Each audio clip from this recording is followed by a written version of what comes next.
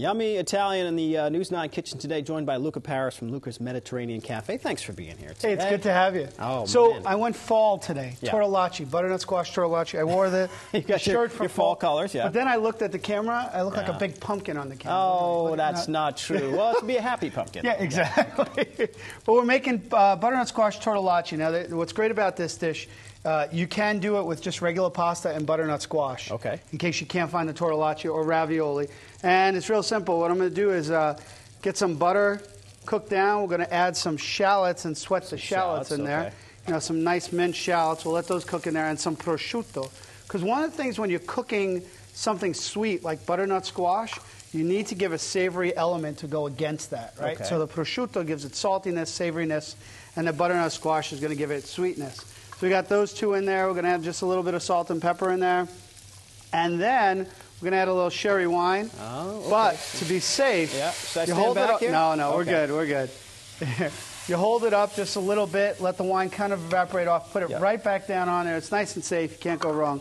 Boom, that's it. And then the rest of the sauce is this cream. Now, the tortellacci, we're going to let this cook down, and that's what's going to create our sauce. That's really all you have to do for this sauce. And, and tortellacci, that's kind of like a ravioli? Well, it's yeah, a tortellacci, ravioli, tortellini. Uh, this is a big tortellini. There's Yeah. tortellini, tortelloni, and then tortellacci. you know what I'm Oh, saying? okay, right, That's yeah. a tortellacci. what we do is we cook those off till they're nice and tender. You can buy them frozen, or and, or you could try and make them yourself, which is a lot of fun. And we don't have that kind of time yet. and uh, and then what I did, this is a this is just a thing I add to it. This is a Swiss chard sautéed Okay. down with a little more shallots. And I'm going to put my tortellacci on there. This is the finished sauce that I have here that's kind of reduced down. And you see how that comes together, that um, the, uh, the cream and the, the, Okay, uh, the prosciutto. Okay. Yeah, we'll get you on the way there. And then we put in some fresh sage right at the last minute and kind of bring it all together. Pour that over the top. Wait, there's one more. This We're not done yet. Okay. We're going to add some toasted walnuts to that. We're going to really call fall into play here. I feel bad for the viewers because they can't smell this right Ah, now. isn't it it really delicious? smells good in here. Yeah, I'm- you feel oh. bad because of my shirt. no, but it's a it's a where I can get one of those.